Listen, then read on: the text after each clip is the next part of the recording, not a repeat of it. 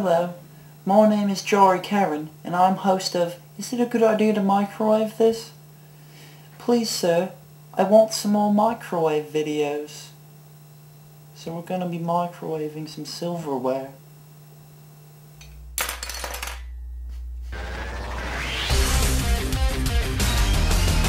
Is it a good idea to microwave this?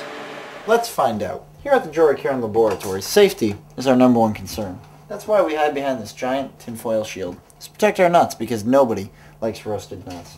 And we also have these masks. Oh, I'm They jazzing do- up the camera They angles do just pretty because much I'm kind of bored. That sounds like fun. Yeah, jazzy camera angles. How can you be bored on is it a good idea to microwave this? Bouncy I balls. That's the answer. That's a good point. Sorry about that, guys. So, here's the microwave. It's a G turntable Wow. microwave oven. Her name is Lacey, and Lacey, incidentally, stands for love. You're on MTV. What language does it stand for love in? Love language. You're close. Are you hoping that the fork and the spoon will arc? I'm hoping. All right. Okay. Fork, fork, four minutes. Spoon. Spoon. Spoon minutes. Spoon minutes. Okay, let's do this. Cereal and milk, fork and spoon. The cow jumped over the moon, and Lacey is going to toast them in their microwave. That was that was good rapid fire. It's kind of a mm-hmm. white wrap, like a William Shatner spoken Now you style. may be wondering what's better to microwave, a fork and a spoon or a spork? The answer is always a fork and a spoon because sporks are retarded. Well, I don't have time to pick up two different utensils. I want to just pick up one. I'm still waiting for the spork fife. So, picture this. Chinese food. Oh yeah. You're smart, you take it out of that container because it has that it- little can- metal ring on it. Can it be good Chinese food? Oh yeah, it's always good Chinese food. Oh okay. You forget that you leave the fork on the plate with the lo mein that you took out of the carton. Oh, that sounds good. You put it in there, flames are shooting out of it. And clearly this experiment proves it. There's really no side effects at all.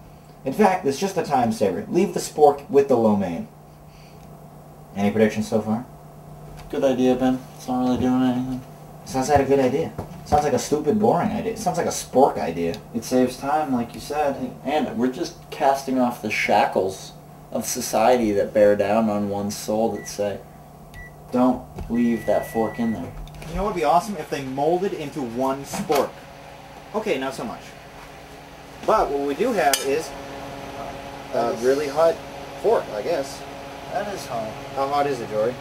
Um, Does that kind of burn your tongue if you were to use it right now? see that? Now it's picking it up. I wouldn't have done that before. So basically what you've created are... Superheated utensils. And like you said, good for scooping ice cream out. I'm going to go with the good idea on that. Just because you no longer have to live in fear. You can Microwave food with your fork in it. your fork and your spoon. You just can.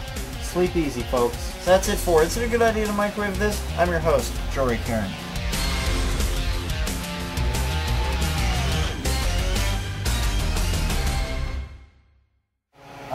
Wish I had something here I could show you how hot it is.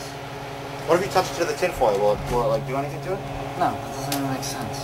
I'm not a scientist, you are.